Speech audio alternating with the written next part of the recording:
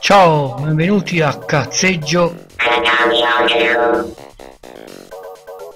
Ciao, benvenuti in un altro episodio di Cazzeggio Cataviotico, anche questa puntatona dal colore di retrocomputing. Oggi esploreremo i due manuali utenti dell'Olivetti M20. Anche se Olivetti M20 è un business computing, ignorare questo storico computer nella dimensione dei manuali sarebbe stato un errore Tuffiamoci quindi a bomba nell'esplorare il primo business computer prodotto da Olivetti, ricordando che Olivetti M20 fu una macchina proprietaria prodotto dal 1982 al 1984, anno in cui poi fu tolto dal mercato. La motherboard non fu riutilizzata ad esempio per un downgrade per entrare nel mercato home computing con il marchio MSX ma Olivetti M20 fu buttato nel cesso, al, posto, al suo posto arrivò Olivetti M24 che era però un compatibile MS-DOS. Tuffiamoci a bomba nei manuali dell'Olivetti M20. Olivetti M20 Personal Computer guida all'installazione e all'uso questo è un manuale 1982 Olivetti eccolo qua la M20 doveva essere collegato ad una stampante c'aveva uno Zilog Z8001 e eh, parecchia me memoria. Era una macchina molto veloce.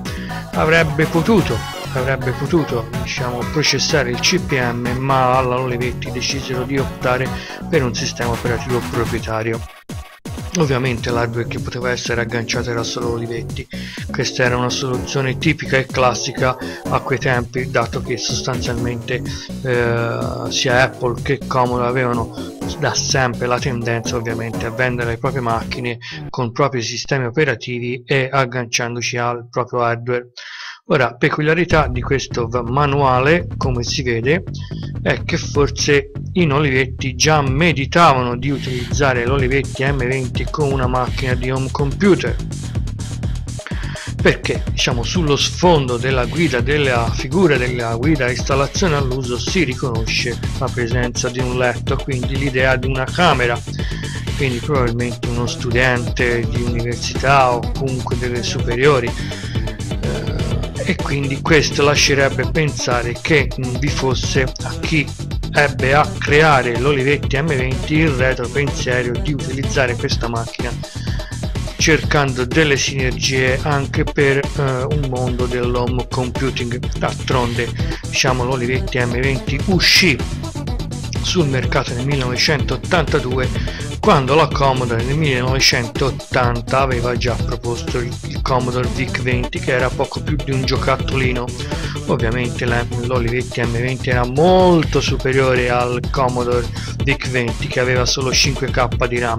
Questo ce n'aveva 228 e poteva essere espanso se non mi ricordo male a circa un paio di mega o qualcosa del genere. Dovrei andare a vedere meglio le specifiche comunque in ogni caso era una macchina che come prestazioni, velocità e RAM era una macchina anche come prezzo totalmente diversa dal VIC-20 però evidentemente chi aveva concepito la macchina dell'Olivetti M20 aveva già posto un occhio nei confronti del potenziale mercato dell'home computing di cui la Olivetti ebbe a sbattersi nei coglioni fino al 1987 anno in cui ebbe a proporre il Prodest questo lo si capisce perché praticamente nel vecchissimo manuale dell'Olivetti del 1982 si vede praticamente nella copertina lo sfondo di una camera e che questo chiaramente non può essere.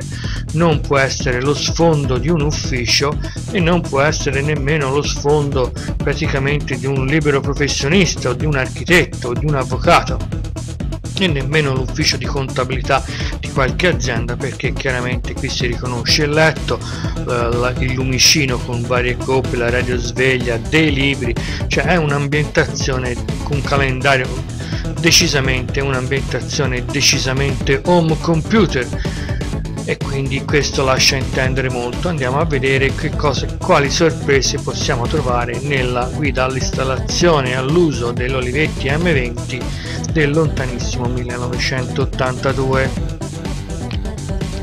che qualche illuminato praticamente ingegnere già aveva allungato praticamente l'occhio sul mercato del eh, praticamente dell'home computing che però poi in Olivetti non lo considerarono. Allora prerequisiti nessuno riferimenti PCOS MS-DOS guida utente CPM86 guida utente. Linguaggio basic manuale generale linguaggio ASM guida utente linguaggio Pascal guida utente. Distribuzione prima edizione dell'83 ecco. Edizione settembre dell'83 dunque andiamo a vedere successivamente. Nel capitolo 1 abbiamo la introduzione e presentazione dell'M20 capitolo 2 installazione e precauzioni da adottare. Capitolo 3 dischetti, dischi e drive. Il 4 per incominciare.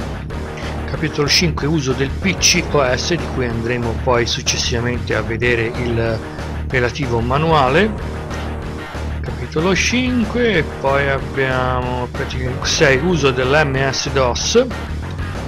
Poi abbiamo capitolo 7 uso del CPM 86 installazione dell'MS DOS o del CPM 86 sull'hard disk. E poi abbiamo dunque ma basta poi non abbiamo non abbiamo altro. Ok andiamo a vedere questo manuale descrizione del manuale. Descrizione del manuale eccoci qua. Impaginazione piuttosto chiara e piuttosto pulita elegante con due righe sopra e sotto. Questo poteva processare aveva linguaggio assembler il linguaggio pascal pcos ms dos cpm 86 linguaggio basic introduzione.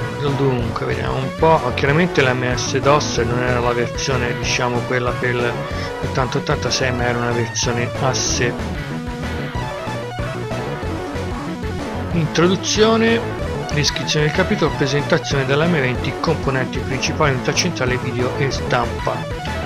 Eccolo qui questo era praticamente ricorda un pochino il case dell'Apple 2 in cui la tastiera era inserita in un monoblocco in cui ci stava praticamente la scheda madre però i disk drive nell'Olivetti l'avevano inseriti sempre all'interno praticamente nel case della scheda madre con la tastiera mentre l'Apple 2 e Apple 2 praticamente questa parte dei dischi ce l'avevano esterna o con un duo disco sopra oppure con un disco esterno.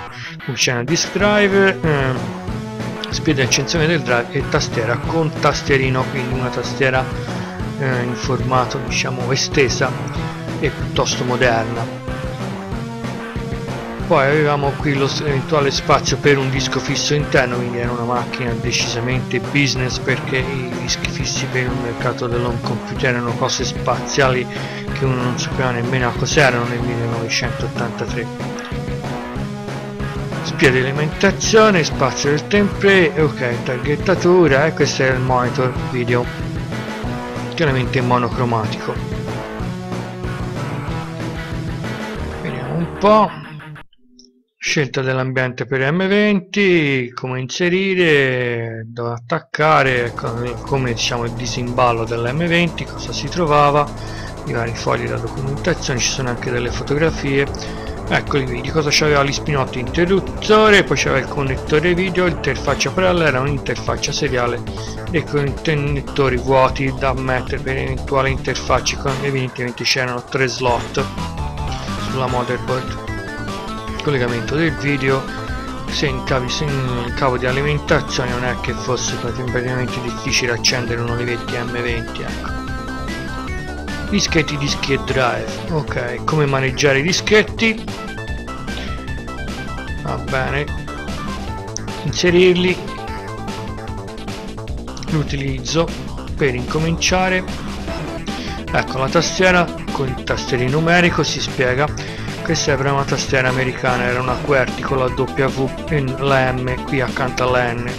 Stranamente l'Olivetti non aveva localizzato la tastiera per una uh, eh, diciamo mh, localizzazione italiana cioè i caratteri italiani c'erano ma la forma, il layout era indubbiamente nordamericano. Utilizzo dei tasti, accensione, autodiagnostica, il reset. Come pulsantino qui ficcato qui di lato non era molto accessibile ma comunque.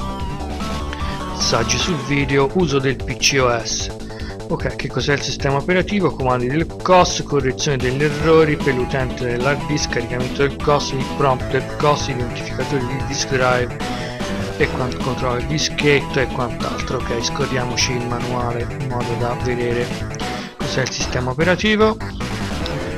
Caricamento del PCOS che è il sistema operativo più approfondito il dischetto del sistema operativo, il nucleo del PCOS, comando e COS e interprete basic, quindi si caricava il sistema operativo con l'interprete basic che poi rimaneva in RAM. Non c'era praticamente nulla in RAM tranne le prime routine per caricare la macchina. Dischetti di Olivetti, come inizializzare un dischetto, i volumi, il file, lo spazio, creazione di un file copia in un dischetto questi sono comandi del sistema operativo. Contenuto del dischetto del PCOS questo era un disk drive a doppia densità. Eh, ovviamente una soluzione business nulla che spartire con i disk drive della Commodore che si spaccavano. Erano molto più performanti questi dell'Olivetti che erano a doppia densità rispetto a quelli del disk drive della Apple che erano a singola faccia ma che comunque erano sempre veloci e ottimo web, non comparabili chiaramente con questi, è una soluzione più business. Preparazione di un dischetto, vabbè, io vado più veloce perché tanto non c'è niente di particolare.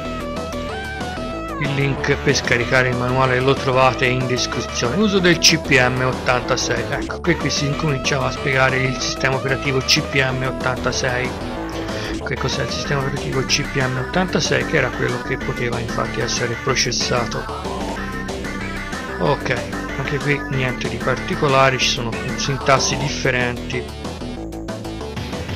Installazione dell'ms DOS del CPM86 sull'hard disk questo chiaramente velocizzava la macchina perché invece da buttare dal dischetto si buttava dal disco fisso era molto più veloce di un dischetto. Come controllare il vostro ordine? Va bene questo era relativo a tutti i codici aggiunta di moduli interni. Cosa si poteva aggiungere alla più, piastra quindi vediamo un po' più grande piastra circuito dell'M20 ecco questa era praticamente la scheda madre che avevamo diciamo connettori per la gestione del praticamente connettori per piastre interfacce opzionali e piastra con processori alternativo qui abbiamo tre connettori tre slot lo spazio della RAM la zona della EPROM va bene questa è la scheda madre. È la circuiteria. Va bene si apriva il coperchio da sopra e era parecchio complicato indubbiamente smontare un Olivetti M20 eh? non era una cosa semplice L'Apple 2 era molto più semplice, si apriva il cofano già ci si aggitiva, questi già bisognava togliere i viti, togliere i cosi, è una cosa piuttosto complicata per accedere praticamente, sollevare la tastiera, quindi è una cosa giuro non accessibile a persone che non avevano mai visto un computer. Ecco qui le zone degli slot dove mettere le, le interfacce. Ok, vediamo un po'. Messaggio d'errore dell'autodiagnostica vari messaggi d'errore che potevano essere aggiunti ulteriori prestazioni di test. E poi ok vediamo un po' diciamo che finora questo manuale era business ma poteva andare anche per il mercato dell'home computing non c'era niente che non fosse diciamo fosse impedito c'erano figure c'erano tutto. Ok questa è la prima parte, passiamo al secondo manuale. Manuale fotocopiato dell'Olivetti M20 Professional Computer Operating System sul PC OS manuale dell'utente. Fotocopiato e poi scannerizzato. Ok andiamo a vedere che cosa c'era. Questo era solo dedicato praticamente al PCOS eh, del 1900 1982 lontanissimo 1982 introduzione impariamo a conoscere l'M20 è praticamente direi identico a quell'altro. Scorriamolo velocemente. Comandi del PCOS torniamo un po' cosa c'era? Impariamo a conoscere l'M20 capitolo 2 mini floppy disk, avvio e arresto della M20, capitolo 4, il più approfondito esame della tastiera, capitolo 5, 6 uso del PCOS per la prima volta, 7 una profondità di visione del PCOS, parte 2 prestazioni del PCOS e poi abbiamo il file system, comandi per la gestione dei volumi, comando per la gestione dei file, comando per personalizzazione del PCOS, comandi generali di ausilio dell'utente e una serie di appendici che andremo a vedere. Ok andiamo a bomba. Prima a conoscere la M20 eccoci qua. Si ritrova diciamo alcune fotografie. Questo è stato scannerizzato anzi fotocopiato e poi praticamente riprende in parte quello del, che abbiamo visto precedente con il fatto che qui sono stati rimossi le parti dell'MS DOS e anche credo del CPM se non mi ricordo vediamo un po' caricamento del disco ci sono parti che sono praticamente rimaste immutate uso approfondito della tastiera e è dato più spazio chiaramente all'uso del PCOS che era il sistema operativo nativo della Olivetti proprietario. Olivetti M20 fu prevalentemente venduto con il PCOS anche se avrebbe potuto far girare sostanzialmente la versione del CPM di VTM20 con il suo sistema operativo PCOS che aveva un basic abbiamo visto che veniva caricato da dischetto interfaccia linea di comando con interprete basic e poi praticamente faceva girare i programmi né più e né meno quello che poi ritroveremo appunto sul, che c'era già sull'Apple 2 e che Apple 2, Apple 2 e Apple 2C che poi fu venduto praticamente al furono venduti come home computer. Quindi praticamente questo Olivetti M20 difettava solo della mancanza di una risoluzione grafica e della parte sonora aveva un botto di RAM 256k che chiaramente poteva, oh, poteva essere diciamo sottodimensionata all'epoca la RAM costava tantissimo poteva essere sostanzialmente ridotto come dimensioni della RAM e poi la macchina poteva essere magari carrozzata in altro modo e venduta indubbiamente. Al mercato home computing con lo Zilog aderendo ai prerequisiti dell'MSX quindi avremmo potuto esserci. l'Olivetti poteva fare un Olivetti MSX già nel 1984 quando introdusse l'Olivetti M24 rimuovendo l'Olivetti M20 per cui avremmo potuto avere un Olivetti eh, MSX con un uh, disk driver che magari è esterno, eh, un registratore esterno ed un monitor che indubbiamente sarebbe stata tutta un'altra cosa nel mercato dell'home computing italiano comandi per la gestione dei file qui tanto vado avanti perché tanto discuto dell'MSX perché tanto questa parte è praticamente identica a quella precedente con la differenza che in quello il manuale originario dell'83 fu praticamente rimosso fu, eh, era stata aggiunta la possibilità di far processare più sistemi operativi, quest'altro successivo era stata rimossa la, parte dell'MS-DOS e si focalizzava solo sul PCOS e basta. comandi generali di ausilio per l'utente. E poi era stata aggiunta una serie di parti vediamo un po' comandi speciali tutta una serie di appendici che invece nell'altro manuale originario non c'era. Oltre al fatto che la copertina qui di questo manuale era stato ecco qui appendici questi non c'erano in quello precedente nell'originario tutta la tabella ASCII non c'era equivalenze di caratteri ASCII caratteri speciali non c'erano tutta questa parte qui appendici versione della tastiera non c'era i vari layout non c'erano. Non c'era nemmeno l'appendice per le tastiere internazionali poca roba versione USA ASCII va bene. Versione italiana, tabelle ASCII, versione francese, localizzazione, poi queste potevano interessare relativamente ai, agli utenti, a meno che non, con il basic non usassero il carattere CHR dollaro per far stampare dei caratteri speciali. Una questione di programmatori diciamo.